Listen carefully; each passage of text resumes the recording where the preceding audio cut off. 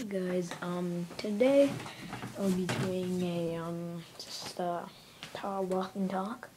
Um, I'm gonna show you what I got. I just got that yesterday, Call of Duty Black Ops 2, Future is Black, and I kind of made just like a Nerf wall or whatnot, something like that. I'm gonna hook that up soon. Nerf bullets, clips, more Nerf guns, um, and I will, I will, uh, and, um, I will be doing, um, GameCube, because I'm not allowed to play my Wii, but I will be doing GameCube commentary and stuff. Well, uh, uh, I will be doing GameCube commentary.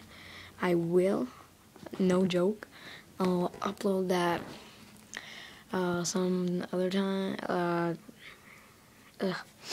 what else? I'll upload that. Um,